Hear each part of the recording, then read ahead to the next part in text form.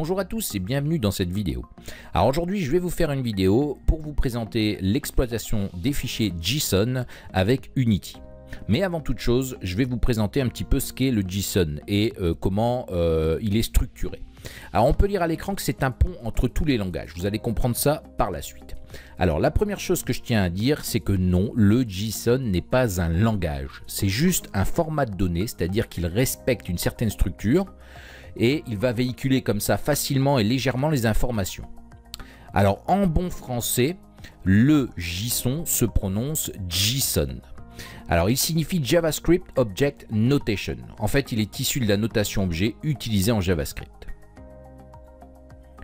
Les points forts du JSON. Étant donné qu'il s'agit d'une simple chaîne de caractères, il fonctionne sur tous les environnements et tous les langages qui peuvent gérer du texte. Et ça, ça fait pas mal de langages possibles, euh, comme je vous l'ai dit euh, précédemment, entre le PHP, Unity, C Sharp, etc. On peut faire pas mal de choses. Alors, quels sont ses points forts? Premièrement, il s'apprend en 5 minutes tant sa syntaxe est courte à connaître. Ensuite, il est moins verbeux, donc plus léger que le XML, tout en restant lisible pour l'être humain. Il permet de transmettre tout type de données, tableaux, chaînes, entiers, objets, etc. Et pour finir, étant donné qu'il est quasi universel, il est très simple de dialoguer d'un langage à un autre via le JSON. Justement, par exemple, le PHP vers le JavaScript ou euh, etc. Vous pouvez vraiment dialoguer d'un langage à un autre avec ce format de fichier. Alors ensuite, on va s'intéresser à la syntaxe de base d'un fichier JSON. Alors comme vous pouvez le voir, c'est assez similaire à ce qu'on va retrouver euh, en JavaScript. Hein. D'ailleurs, bah, c'est du JavaScript à la base.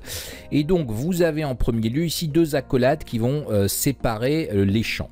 Ensuite, justement, en rouge, vous pouvez voir qu'entre guillemets, vous avez le nom de votre champ suivi de deux petits points qui vont être l'opérateur d'affectation à ce champ et pour terminer, ici, vous avez la donnée que vous pouvez voir en bleu dans le champ euh, name Superman.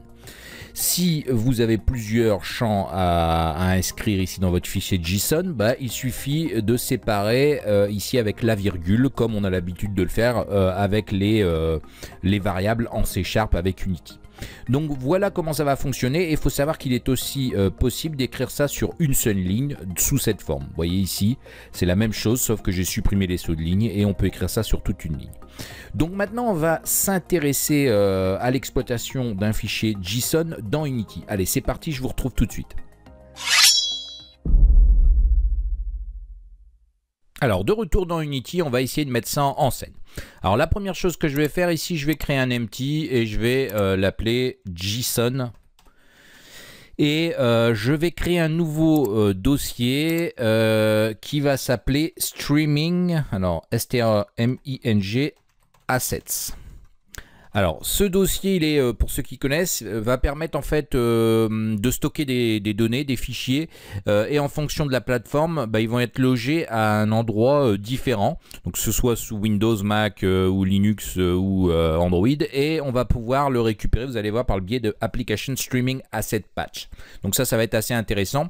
Et à l'intérieur, on va y stocker un fichier JSON. Alors, on va tout de suite créer un simple fichier JSON. Alors pour créer mon fichier, j'utilise ici un IDE qui est Notepad++ qui permet de rédiger en fait du JSON. Donc la première chose que je vais faire c'est enregistrer sous. Je vais choisir ici en extension dans le bas JSON. Donc je devrais le retrouver. il y a beaucoup d'extensions, donc vous pouvez voir que c'est pas forcément facile. Je vais me taper J, voilà, et on peut le trouver ici. Donc je vais aller l'affecter directement euh, dans mon projet, dans le dossier asset, et vous pouvez voir ici streaming asset, et je vais le nommer euh, hero tout simplement en minuscule pour un héros. Voilà. Et donc, bah, je vais y aller. Donc, je vais écrire ici euh, mon accolade ouvrante et mon accolade fermante. Et ici, bah, je vais tout simplement mettre le nom de mon champ. Donc, le nom, bah, ça va être bah, nom, tout simplement. Mes deux petits points pour affecter. Comme c'est une chaîne de caractères, bah, j'écris ici, entre guillemets de nouveau, Superman. Comme je vais écrire d'autres données, ma virgule, et ici, bah, je vais euh, écrire sa vie. Voilà, avec un V minuscule, deux points. Et là, comme c'est euh, un chiffre, bah, je vais mettre par exemple 60 pour 60%. Et ensuite, on peut continuer comme ça avec tout type des tableaux, etc. Ça fonctionnera de la même manière. Donc ici, je pourrais euh, terminer par exemple par ces points.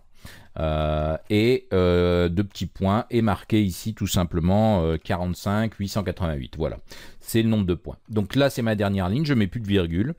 Et évidemment, je n'oublie pas d'enregistrer mes modifications, ce qui est déjà fait ici. Donc on va pouvoir retourner dans Unity et s'apercevoir qu'on a bien ici un fichier qui s'appelle Hero, qui est bien avec une extension JSON et qu'on ne voit pas dans l'inspecteur. Donc ça c'est parfait. Donc maintenant, on va retourner au niveau de l'asset et on va créer un simple script ici qu'on va nommer JSON demo. Et évidemment qu'on va affecter à notre empty renommé JSON. Vous l'aurez compris, on va se servir exclusivement ici euh, de la console que j'ai d'ailleurs positionné ici pour voir comment tout ça fonctionne. Donc maintenant, ce qu'on va faire, on va euh, éditer notre script et on va aller voir dans euh, Visual Studio comment on peut coder ça. Alors, on va commencer euh, par créer nos variables. Alors, on aura besoin de variables privées hein, de type string euh, qu'on va nommer une qui va s'appeler chemin pour le chemin en fait du fichier et euh, l'autre qui va être JSON string. Donc, qui va contenir en fait le fichier JSON. Donc au start, qu'est-ce qu'on va faire? On va commencer par définir notre chemin. Donc chemin, il va être égal, et là on va utiliser application euh, streaming, alors justement le dossier streaming assets path, euh, et on va concaténer ça parce que ça va renvoyer mon dossier. Alors encore une fois, le dossier streaming asset que j'ai mis euh, dans mon projet va être à différents endroits en fonction de la plateforme, que ce soit Android, Mac, Linux, pardon, Windows, et donc Unity va être capable d'aller chercher. Donc nous on ne doit pas se soucier de ça. Et on va concaténer ça avec le nom du fichier pour avoir le chemin complet. Donc c'est Hero JSON, ce qu'on avait créé précédemment. Donc ça c'est parfait. Ensuite, on va définir JSON string qui va être égal à quoi? Et là, on va devoir lire ce fichier dans la chaîne de caractères. Donc pour ça, on va devoir importer euh, système, l'espace de nom système.io. IO qui veut dire input, output, entrée, sortie. Et ça va nous permettre d'avoir accès maintenant à la classe file qui va nous permettre d'utiliser read all text et on va lire ça en fait dans quoi? Dans on peut voir que ça attend le path, le string, de, le pass euh, pardon euh, du sous forme de, chaîne de caractères du chemin. Et ben le chemin, on vient de le définir au-dessus, donc c'est un peu plus simple comme ça. Voilà. Et là, bah, on va pouvoir tester en faisant un debug.log de notre JSON string pour voir si on récupère bien le contenu en fait du fichier de JSON. Donc j'enregistre et on retourne dans Unity. Donc on va lancer ici notre projet et si tout va bien, dans la console, on devrait voir, on pouvait voir 19h14, non Superman. on ne voit pas tout, mais vous pouvez voir que tout est là. Non Superman v60.45888. Donc euh, ça fonctionne, on arrive à lire le texte sans aucun souci, euh, enfin le lire le, fichier JSON dans notre variable euh, dans notre variable JSON string. Donc ça on va le supprimer, on a vu que ça fonctionne. L'update j'en aurais pas besoin. Alors maintenant, euh, ce que je vais faire, je vais devoir affecter ça euh, bah, à un personnage. Donc pour faire ça, on va pas pouvoir affecter, utiliser euh, JSON Utility pour justement parser ce, fichier, hein, maintenant qu'il est dans, cette chaîne de caractères. On va pas pouvoir le faire dans une classe qui dépend du monobehavior. Donc ce qu'on va faire, on va créer ici une public class qu'on va appeler Hero qui ne va pas euh, hériter du monobehavior. Donc ici, dans cette classe, je vais, alors je vais mettre un H majuscule, pardon. Dans cette classe, on va ici euh, bah, définir nos, nos, propriétés, ici les, variables que justement on a utilisées euh, dans notre fichier JSON. JSON pardon. Donc on va faire une public string en premier lieu qui va être, on va nommer ça hmm, non. Ensuite, une variable publique de type int qui va être ici la vie. Et pour finir, on avait utilisé une variable toujours de type int qui s'appelait point. Voilà. Donc l'intérêt maintenant, c'est qu'on va pouvoir utiliser, euh, déjà déclarer ici, euh, ben, à nouveau initialiser cette classe. Donc on va dire que le type hero, ma classe hero, contient un héros. Alors l'héros, on va, le nommer tout de suite, il s'appelle... Euh, bon, on va laisser héros en, minuscule. Euh, et on va dire que c'est égal à quoi? JSON utility.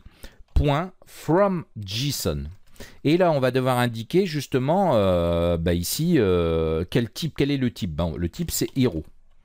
Et ensuite, on va affecter dedans notre fichier JSON string.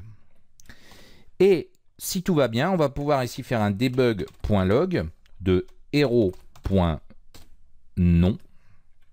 Et évidemment, on va pouvoir faire ça sur toutes les possibles, hein, toutes les, les, variables que vous avez euh, créées dans, dans, votre JSON. Donc ici, je vais tous les afficher, mais évidemment, vous doutez bien euh, que euh, ça n'a pas, enfin que ça va fonctionner. Et ici, ensuite, c'était vie. Voilà. Donc maintenant, on va pouvoir tester ça pour voir si ici JSON Utility arrive à parser en fait toutes les données ici dans les variables. Donc c'est parti.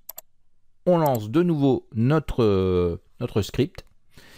Et là, on peut voir qu'on a bien Superman, les points, 45 888 et 60 qui étaient les points de vie. Donc, on peut voir que ça fonctionne très bien. On récupère ici avec JSON Utility. Euh, c'est très simple d'affecter ici les, valeurs, ensuite et de les stocker. Alors, vous ne pouvez pas ici euh, faire ça dans une classe qui dépend du MonoBehavior. Vous allez voir que vous allez avoir un massage d'erreur. Donc voilà pour euh, la partie lecture, vous pouvez voir que c'est très simple. Maintenant, comment ça va fonctionner si je veux écrire des données?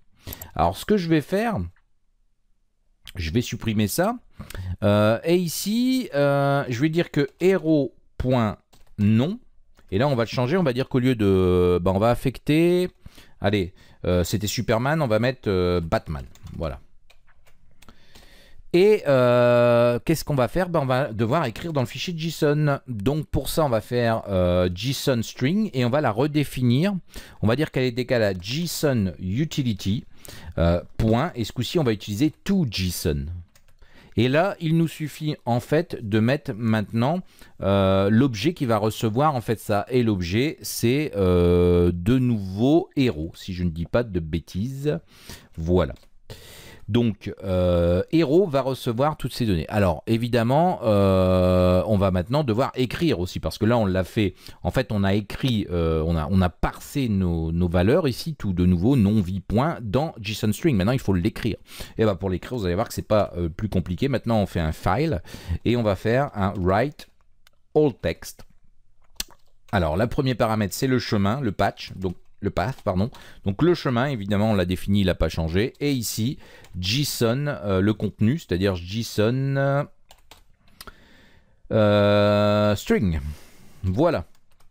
Et donc maintenant, euh, bah, qu'est-ce qu'on va faire Évidemment, là vous vous doutez bien que si je le redéfinis, c'est pas intéressant. Mais on va pouvoir aller voir que dans notre fichier JSON, évidemment, après avoir exécuté ce, code ici, maintenant qu'on l'exécute, évidemment, euh, on peut voir que j'ai pas de message, c'est normal, j'ai rien demandé en sortie, j'ai simplement dit maintenant, tu modifies dans le fichier le nom par Batman et tu écris ça dans le nouveau fichier. Ben, on va ouvrir de nouveau Notepad++ pour vérifier que ça a bien pris. Voilà, on peut voir que la vérification est bien là. Non, Batman, vie 60. Points. Alors j'ai modifié que le nom, je vais remplacer Superman par Batman, mais on peut voir que ça marche.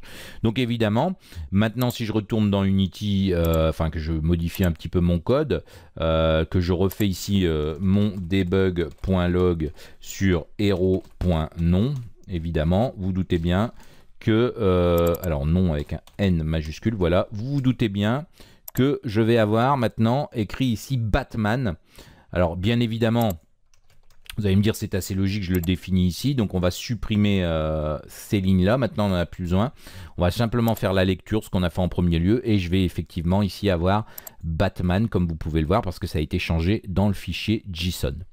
Voilà, donc vous pouvez voir que c'est pas bien compliqué, mais ça peut être très utile. Alors évidemment, ici, c'est quelque chose d'assez basique. La structure d'un fichier JSON peut être beaucoup plus évoluée.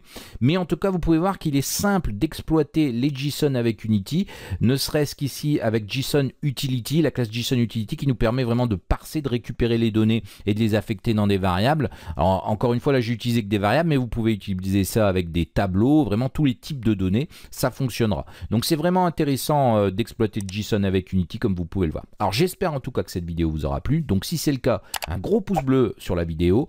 Abonnez-vous si ce n'est pas déjà fait. Et moi je vous dis à bientôt pour une prochaine vidéo. Bye bye